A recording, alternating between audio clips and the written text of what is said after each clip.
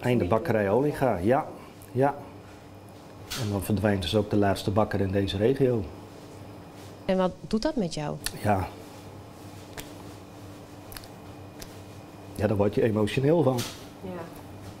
Heb ik een toekomst voor mijn kinderen straks? Dat, uh... Het is een hard gelach dat zoveel bedrijven nu opnieuw met grote problemen te maken krijgen vanwege enorme kostenstijgingen. Zeker in het midden- en kleinbedrijf, dat zo belangrijk is voor ons land, hebben veel ondernemers het moeilijk. Het kabinet wil de bakkers helpen met leningen en hulp bij verduurzamen. Maar in hoeverre ze ook de energienota van bakker Oling gaan verlagen, dat blijft nog onduidelijk. Het is al 70 jaar een echt familiebedrijf en vader Harry blijft voorlopig elke maandag de noodklok luiden.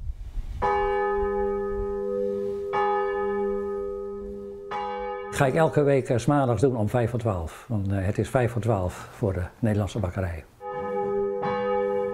Als er niet snel een wonder gebeurt, moet bakker Olinga in het Groningse Bierum in januari de deuren sluiten.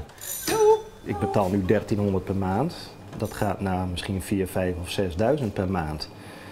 Ja, dan blijft er niks over. Nou, ik ben bang dat 25 tot 50 procent van de bakkers hun deuren moet sluiten omdat het uh, niet meer lonend is dan. Als het kabinet niet snel bijspringt, valt de helft van de bakkers om, zeggen de bakkers. Die kwamen vanochtend met 200 ton poezen voor de Kamerleden die zich hard maken voor het MKB.